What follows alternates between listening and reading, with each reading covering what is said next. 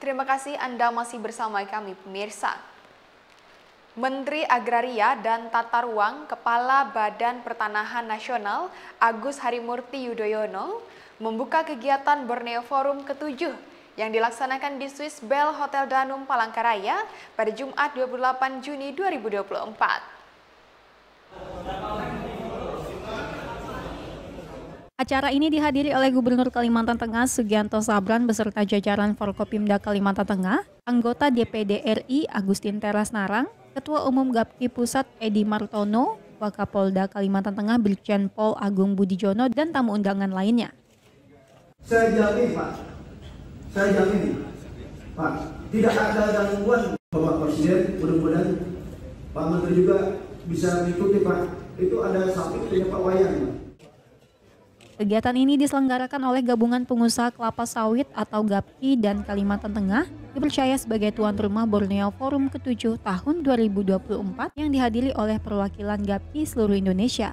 Agus Harimurti Yudhoyono mengatakan kegiatan ini sangat penting dalam membahas terkait industri perkebunan kelapa sawit dan membahas jaringan solusi dan evaluasi yang terbaik. Ini acara yang penting sebuah gelaran eh, tahunan yang diselenggarakan dalam rangka membahas berbagai isu terkait industri perkebunan kelapa sawit. Pastinya ada masalah, tapi juga pasti ada progres yang perlu kita juga bahas, evaluasi, dan carikan solusi yang terbaik.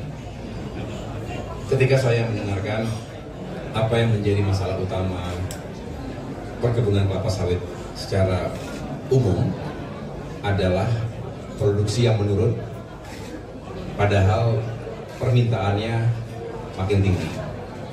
Dan ada sejumlah isu yang harus kita kelola bersama, termasuk lahan-lahan yang seharusnya bisa berproduksi secara optimal di Kalimantan Tengah, sekalimantan maupun di tempat-tempat lain kita tahu di Sumatera di tempat-tempat yang lain juga banyak lahan-lahan yang potensial untuk produktivitas kelapa sawit.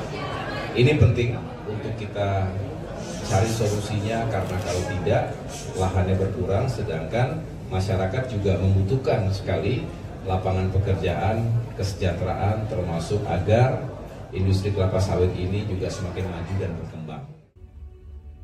Dijelaskannya yang menjadi masalah utama perkebunan kelapa sawit secara umum adalah produksi yang menurun, padahal permintaannya semakin tinggi. Selain itu ada sejumlah isu yang harus dikelola bersama lahan-lahan yang seharusnya bisa berproduksi secara optimal di Kalimantan Tengah. Sementara itu, Sekretaris GAPKI Cabang Kalimantan Tengah, Bernhard Rizal Setiawan dalam pelaksanaan acara Forum Borneo sangat bersyukur dan langsung dihadiri oleh Menteri ATR BPN RI berjalan dengan lancar. Harapannya dengan kegiatan Borneo Forum 7 ini uh, lebih lagi kami mengkampanyekan tentang uh, industri kelapa sawit yang ada di seluruh Indonesia maupun yang ada di Kalimantan Tengah ini secara baik sehingga lebih dikenal oleh masyarakat luas khususnya uh, generasi muda yang ada di Kalimantan Tengah maupun yang ada di nasional di Indonesia. Peserta yang hadir membludak dan orangnya berbeda ketika dihadiri oleh para pejabat dan Menteri ATR BPN dan semua berkumpul di Kota Palangkaraya, Kalimantan Tengah. Dari Palangkaraya, Kalimantan Tengah, Tim Liputan, iNews melaporkan.